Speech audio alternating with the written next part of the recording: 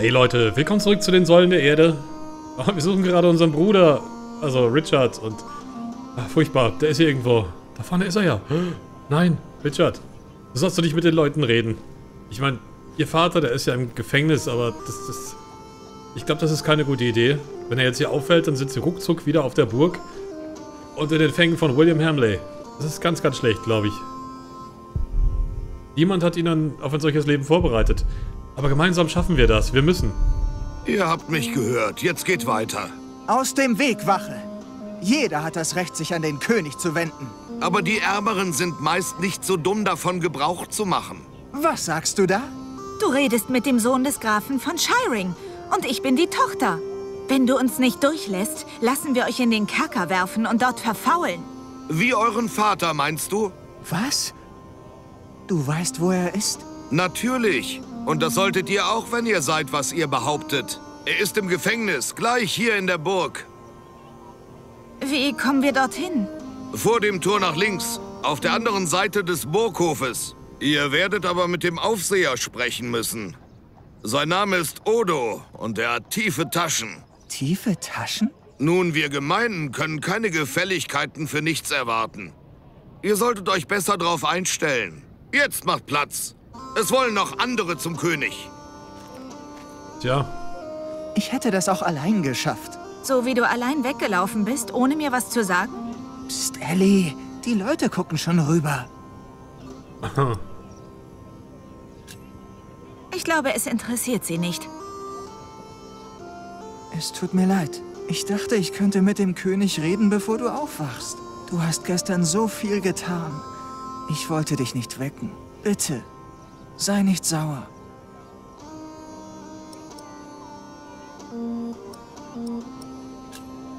Das war lieb von dir, aber auch sehr dumm. Oh, sieh mich nicht so an. Es tut mir leid. Sollen wir jetzt zu Vater gehen? Ja. Ach Mann. Die armen Kinder, die haben niemanden mehr bald. Ich meine, wir wissen, was passiert, oder? Wissen wir alle. Ja, was haben wir denn noch? Hm. Stefan von Blois ist erst seit einem Jahr König und hat uns schon alles genommen. Wenn dir jemand mal das Leid zeigen würde, das er verursacht hat. Ich glaube, das zeigt ihm keiner. Das interessiert ihn gar nicht. Einer von ihnen sieht dauernd in meine Richtung und hält sich dabei die Nase zu. Als könnte er mich nicht riechen. Schwein. Unterwegs mussten wir in einem Gasthaushalt machen. Sie setzten uns Bauernfraß vor. Brei? Und kein Fitzelchen Fleisch. Gibt es nicht ein Gesetz dagegen? Äh, Matzke, ehrlich. Nun ja, es ist Ihnen nicht vergönnt, unser Essen zu essen. Aber davon, dass Sie uns Ihres auftischen, können wir Sie nicht abhalten. Also wir ließen noch ein Huhn schlachten und räuchern, bevor wir losgegangen sind. Das machen wir nächstes Mal auch. Das Essen der Gemeinen ist vielleicht gut für die Feldarbeit, aber es soll einen auch dumm machen. Ja, zum Glück nicht so dumm wie euch. Sie interessieren sich nicht für mich. Und das gilt auch umgekehrt. Tja, das ist leider so. Die, die halten sich jetzt echt für was Besseres, oder? Ich erkenne diese Gesichter. Waren einst unsere Gäste bei Tisch. Aber die kennen ich sie nicht kenne mehr. Sie. Das ist alles ein solcher Unsinn, dass Mathilde Königin sei. Was hat der alte Mann sich nur gedacht? Er war einfach König Heinrich zu loyal gegenüber, sogar nach seinem Tod. Ihr müsst zugeben, Heinrich war ein anständiger Monarch. Gewieft und hart, aber anständig. Aber wäre Mathilde genauso? Nur weil sie seine Tochter ist? Außerdem, seit Wilhelm dem Eroberer wurde kein König von England als solcher geboren. Sie mussten alle um die Krone kämpfen. Und wenn Stefan besser ist als Mathilde, dann sei es so. Bartholomäus hat die falsche Welle geritten. Und seht, wohin es ihn geführt hat. Man muss mit dem Strom treiben. Das sage ich ja immer. Vielleicht ist es Zeit, dass ein bisschen frisches Blut nach Earls Castle kommt. Hm. Vielleicht habt ihr recht. Ich habe Ihnen früher Wein eingeschenkt. Diese hinterhältigen Kreaturen. Ja, ist echt so. Diese Ränkespiele, ist denen doch egal. Hauptsache, die haben ihren Schärflein davon, ne? Der alte Mann hat sich zäh gehalten, hörte ich. Sie haben ihn tagelang ausgepeitscht. Und als es vorbei war, bat er nur um einen Becher Wein. Er hat nicht gebettelt, nur gesagt, Beeilt euch, ich hab Durst. Als wäre es ein Fest oder sowas. Man wünschte sich, er wäre noch auf unserer Seite. Welch eine Schande. Ah, er kämpft nicht mehr, er hat aufgegeben. Ausgebrannt, das ist er. Nein, aufgeben sieht anders aus. Nicht, wenn man alles verloren hat. Ich hörte, er hat sogar seine eigenen Kinder geopfert. Er glaubte es besser zu wissen als der König und hat dafür bezahlt. Kann nicht sagen, dass mir so jemand leid tut. Sie reden über Vater. Ja, aber wen sonst? Ach, herrje, herrje, herrje. So, hoffentlich kommt Richard jetzt mit. Und hoffentlich hält ihn keiner auf. Na, seid ihr zufrieden, Herrin? Natürlich nicht. Aber mein Mann scheint in guter Verfassung zu sein. Ich hoffe, es bleibt so. Das hoffe ich auch. Aber gutes Essen ist heutzutage schwer zu bekommen. Oh, ihr seid zu gütig. Das wird eine Weile reichen. Gebt gut auf ihn acht. Ich bin auf dem Markt. Das werde ich.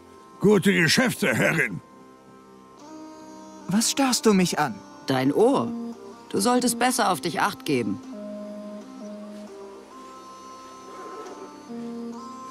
Was sollte das denn? Ich weiß nicht, aber wir haben unsere eigenen Probleme. Komm. Was war Henry, dieses Schwein? Ich meine, was kann man da tun? Oh, was? Ist das Richard? Ich dachte schon. Ja, wir kommen wohl nicht an Odo vorbei. Ich meine, wir haben kein Geld. Wachmeister nannte ihn Odo. Klingt nicht sehr freundlich. Was für ein übler Typ. Sieht auch echt fies aus. Guck mal, aus wie so ein Affe. Ähm, bist du der Gefängniswärter? Euer ergebener Diener. Worum geht's? Wir, wir wollen unseren Vater besuchen. Den Grafen von Shiring. Er heißt jetzt schlicht und einfach Bartholomäus. Dann ist er hier. Sieh uns an, wenn wir mit dir reden. Wie viel Geld habt ihr denn? Gar keins. Deshalb solltest du dir auch erst gar keine Hoffnung machen. Dann könnt ihr euren Vater nicht besuchen. Tut mir leid.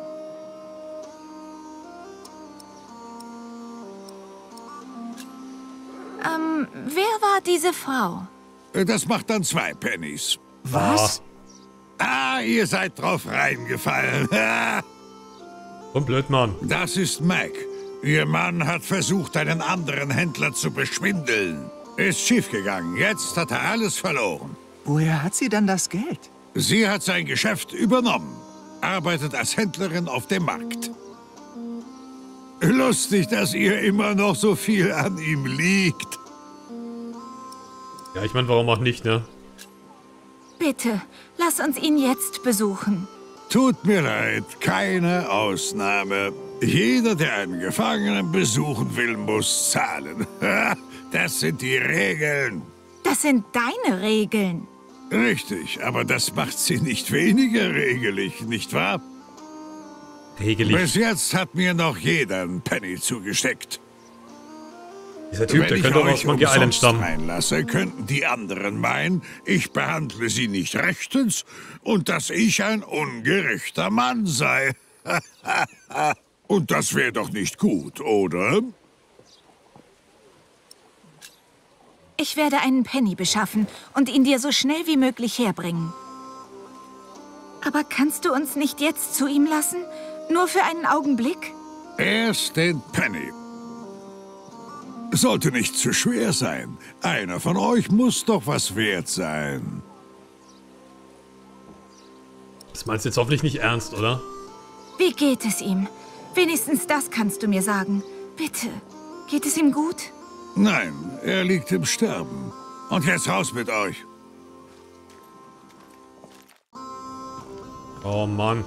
Das war ein Blödmann. Denk nur an seinen Profit. Weinst du? Hast du nicht gehört, was er sagte? Ja, aber er hat gelogen. Das letzte Mal, als wir Vater sahen, war er gesund und lebendig. Manchmal frage ich mich, was in deinem Kopf so vorgeht. Also, wie kommen wir an einen Penny? Wir könnten betteln. Bettler fragen gewöhnlich nach Essen oder Kleidung. Ich habe nie gehört, dass jemand ihnen Geld gibt. Nun, wie kommen Leute an Geld? Der König erhält Geld aus Steuern, Adlige haben Pacht, Priester den Zehnten, Händler haben was zu verkaufen, Handwerker kriegen Lohn. Und Bauern brauchen kein Geld, weil sie Felder haben.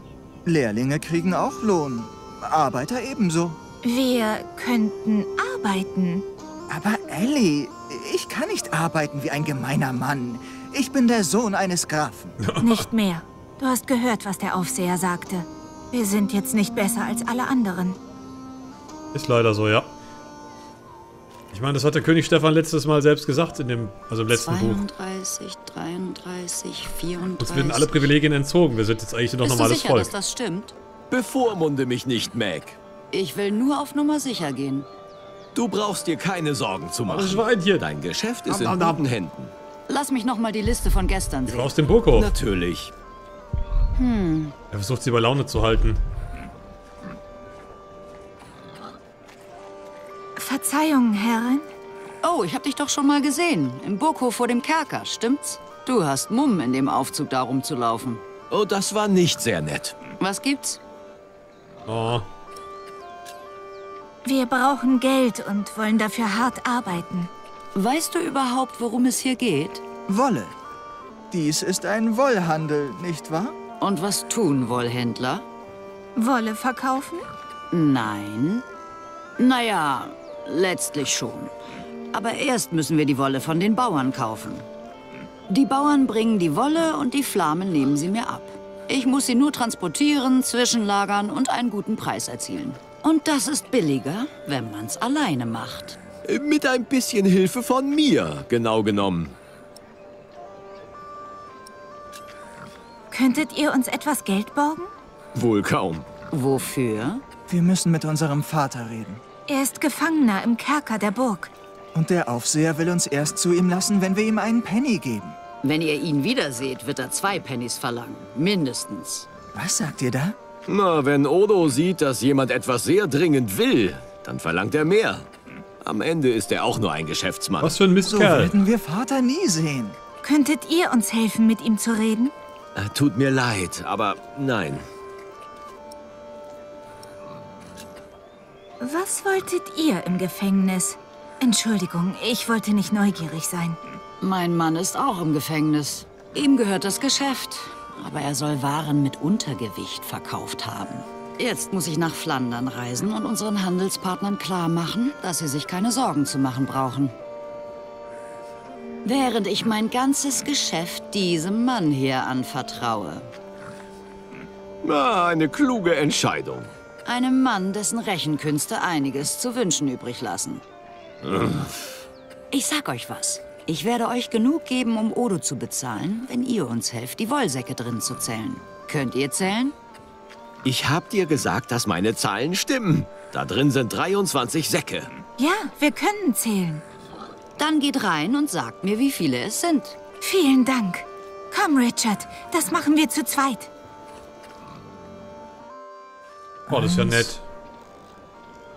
Das ist ja richtig nett. Sechs, Du verwirrst mich. Eins, zwei, drei, vier, neun, fünf, sechs, sieben. Habe ich mich verzählt? Oh nein. vierzehn, Eins, zwei, drei, vier, fünf, sechs, sieben. zwanzig. Sieben. So. Das war's.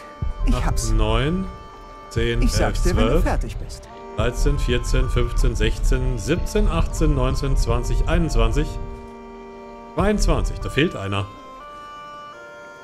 Das sind nur 22.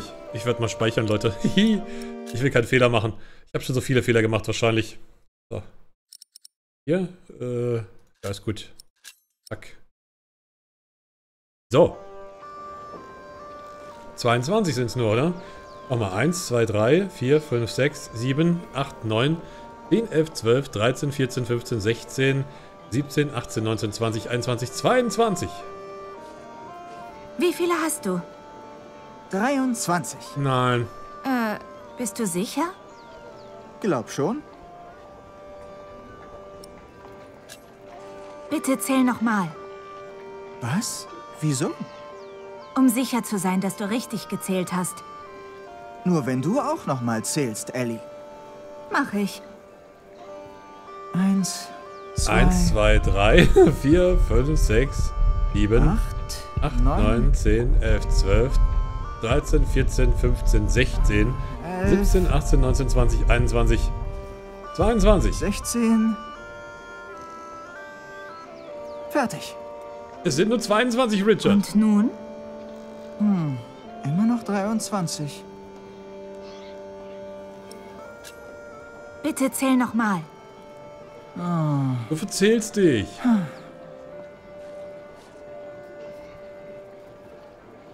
Decke auf den Boden. Ähm, Guck mal. diesmal sind es 22. Ja. Na? Ich zähle nicht mehr, Ellie.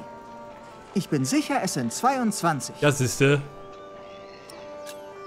Sagen wir es ihnen. Kann aber zählen. Wir sind fertig. Gut. Wie viele sind es? 22.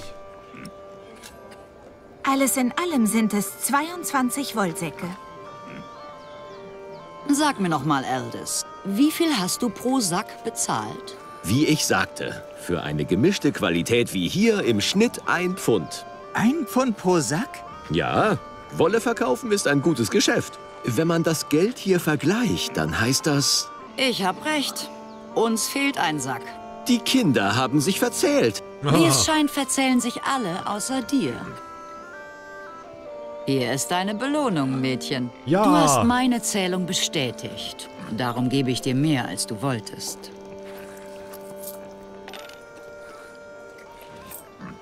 Die ist voll nett. Wow, ein Penny und zwei halbe. Oh, das ist ja nett.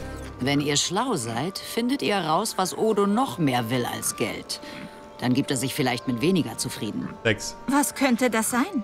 Sagen wir einfach, er möchte sich ab und zu auch als guter Mensch fühlen. Dann kommt er sich nicht so wie das Ungeheuer vor, zu dem seine Arbeit ihn gemacht hat. Danke. Ja, vielen herzlichen Dank. Und viel Glück in Flandern. Wird schon schief gehen. Du hast ihnen wirklich Geld gegeben? Ich kann mit meinem Geld tun, was immer ich möchte. Im Gegensatz zu dir. Also nimm dir kein Beispiel dran. Die Frau Verstehe. ist super. Die ist richtig lieb.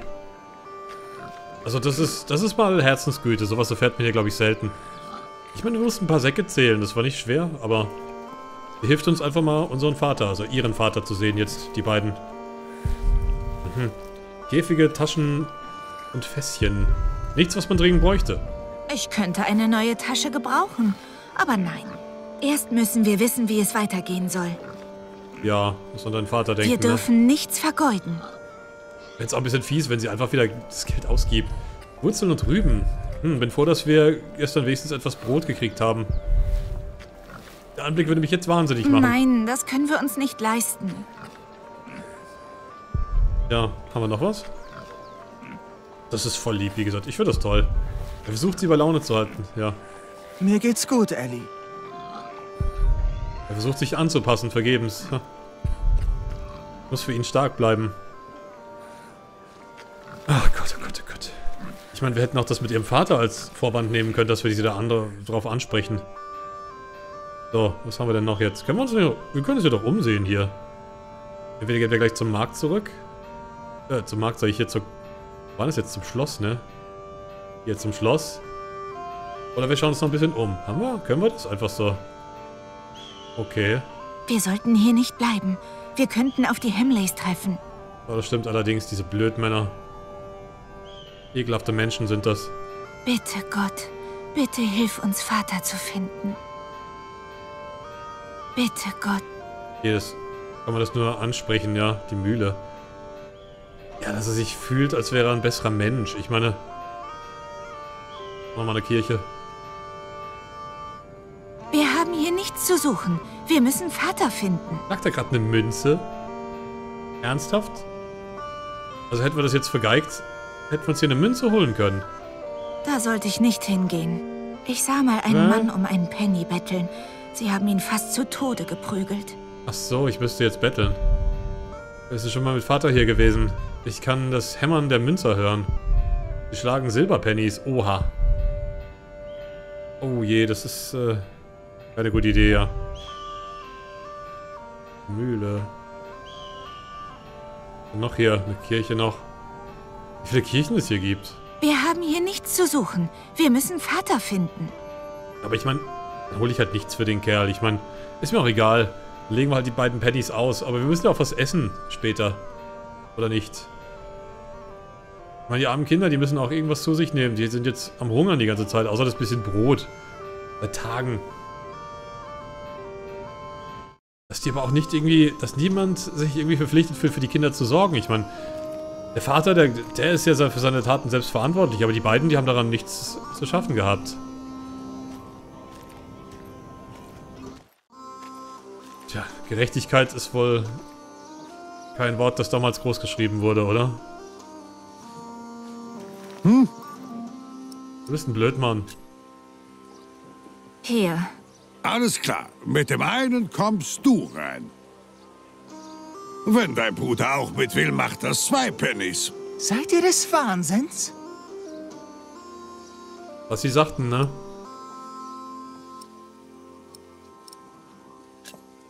Das hätte ich von dir nicht gedacht. Wieso nicht?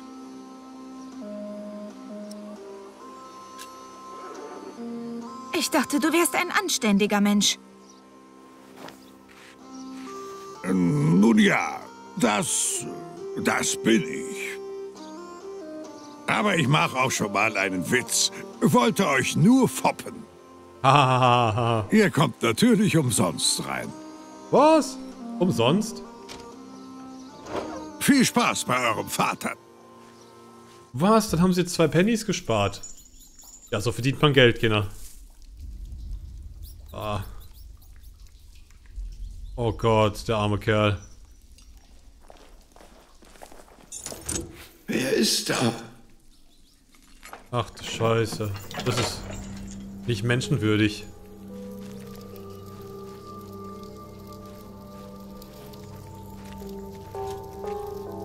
Vater? Aliena? Bist du es, Aliena?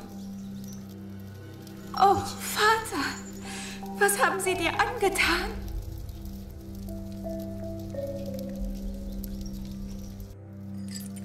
Du bist es wirklich. Und dieser große junge Mann ist mein Richard? Ja, Vater. Wie groß du geworden bist. Hast du schon einen Bart? Schon ein bisschen. Er sprießt noch ziemlich spärlich. Geht es euch beiden gut? Wie Ja. seid ihr zurechtgekommen? Wo lebt ihr jetzt?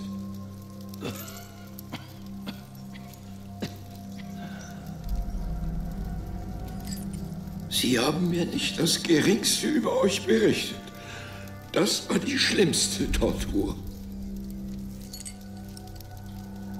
Oh je. Ich will nicht noch mehr Sorgen machen. Uns geht es gut, Vater. Mach dir keine Sorgen. Wir sind auf der Burg geblieben. Matthew hat sich um uns gekümmert. Ihr könnt dort nicht bleiben. Inzwischen hat der König sicher diesen fetten Tölpel Percy Hamley zum Grafen ernannt. Aber wo ist Matthew? Warum ist er nicht bei euch? Oh je. Sagen wir ihm nicht, oder? Wir sind, wir sind nicht die schlechten Nachrichtenüberbringer. Er konnte mit uns fliehen. Gott sei Dank. Er verdient etwas Frieden nach allem, was er für mich durchgemacht hat. Vater, Ja, den hat er wohl. wir müssen König Stefan bitten, dich freizulassen. Nein. Ich habe König Heinrich einen Eid geschworen. Prinzessin Mathilde und ihre Söhne werden regieren. Ich habe Stefan keine Treue geschworen und ihr werdet es auch nicht tun. Selbst wenn die anderen Barone es taten. Hört ihr mich? Ja, Vater. Stefan ist nicht unser König, nicht meiner und nicht eurer.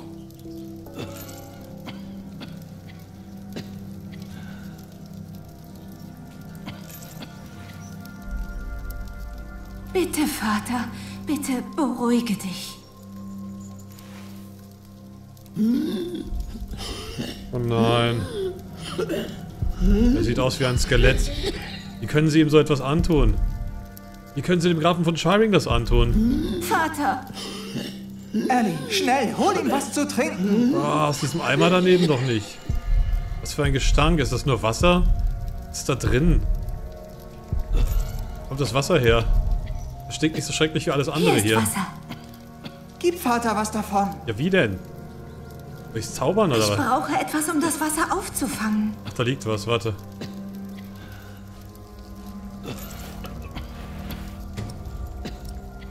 Er hat einen Sprung und ist dreckig. Besser als nix, oder?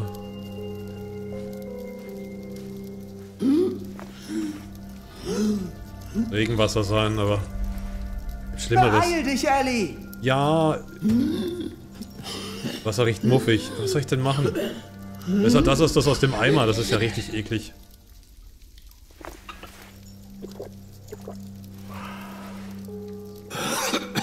Danke. Kinder, als die Hamleys mich herbrachten, habe ich 50 Byzantiner in einem Geldgürtel unter meinem Hemd versteckt. Ich gab sie einem Priester. 50? Welchem Priester? Ich kenne seinen Namen nicht. Ich gab ihm den Geldgürtel und flehte ihn an, ihn sicher für euch zu verwahren. Es war nahe beim Westtor.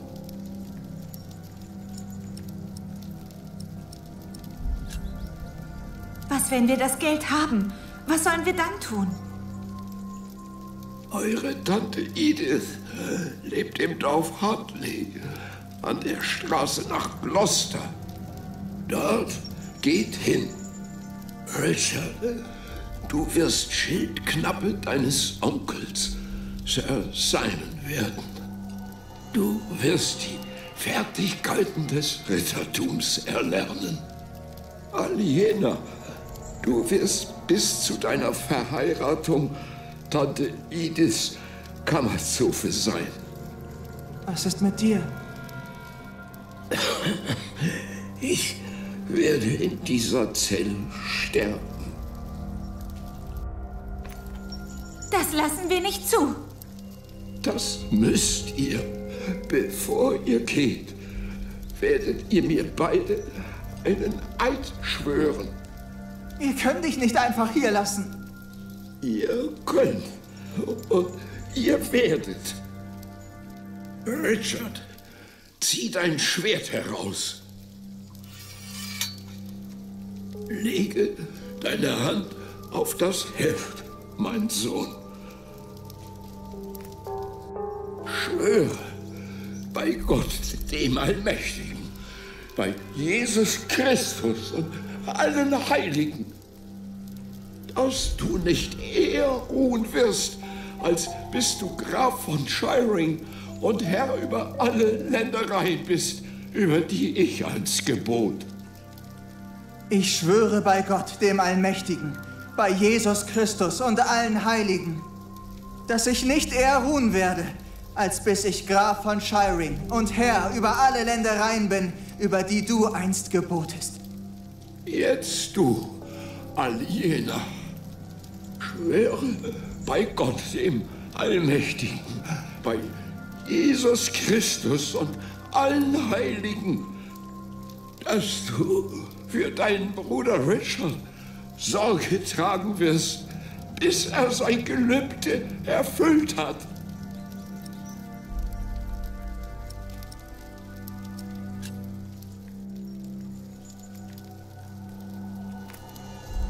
Ich schwöre bei Gott, dem Allmächtigen, bei Jesus Christus und allen Heiligen, dass ich für meinen Bruder Richard Sorge tragen werde, bis er seinen Schwur erfüllt hat.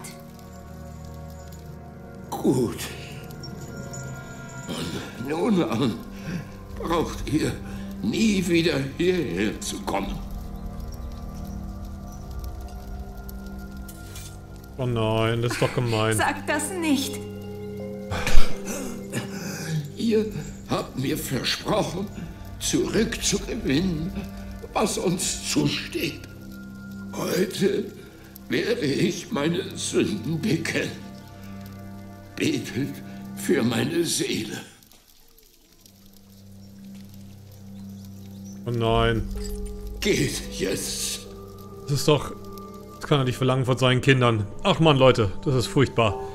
Aber trotzdem, ich werde auf jeden Fall dafür sorgen, oder sie wird dafür sorgen, dass es Richard gut geht, hoffe ich doch. Wenn dir was passiert, ich will es mir nicht verzeihen. Danke fürs Zusehen, liebe Leute. Lasst mir ein Like da, wenn es euch gefällt und schaltet wieder ein zu den Säulen der Erde. Bis zum nächsten Mal. Macht's gut.